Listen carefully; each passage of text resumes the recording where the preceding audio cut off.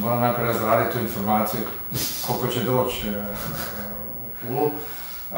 Da, ipak imamo jako važnu utakmicu, imali smo sad sa zadnjom pobjedom protiv Lupo gdje nismo samo pobjedili, nego mislim da smo jako dobro preko 90 minutu smo stvarno dobro igrali, imali smo jako dobru balansu obadve strane, u ofenzivi i u defenzivi.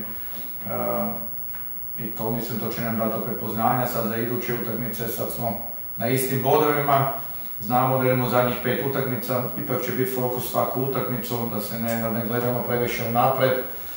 Cilj nam je da ostanemo u ligi, iako da me raspored sigurno nije lagan, to znamo, ali pokazalo se isto sad kak je bilo da smo mogli dva po Dinamo tuć, znači da možemo stvarno možda i najboljih sa malo srećem dobiti, ali da nismo još konstantni. To će nam biti sad jako bitno da dobijemo neku konstanciju u zadnjih pet utakmica, da budemo fokusirani kao ekipa, kao momčad, mi treneri, svi u klubu, da je fokus na tih zadnjih pet utakmica u toj sezoni i da maksimum izvučemo na bodovima i onda ćemo vidjeti šta će na kraju se desiti, šta će biti.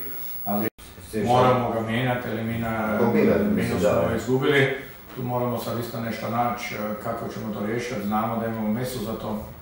Možda ćemo i na Trojković, vidjet ćemo kako idemo, ali generalno nam to dobro leži isto. I, ali to mogu tek danas. Jučer su bili još jako umorni dečki, znači danas ću biti još razgovora s njima ko je stvarno 100% fit, to je isto nešto što između trenera i ekipe mora biti dobro. Naši uvjeti nisu baš najbolje da možemo sve testirati na kojem fizičkom levelu je igrač, nego to moramo isto između nas dobro iskomunicirati, ali to mislim da je nam jedno otvoreno iskreno moć.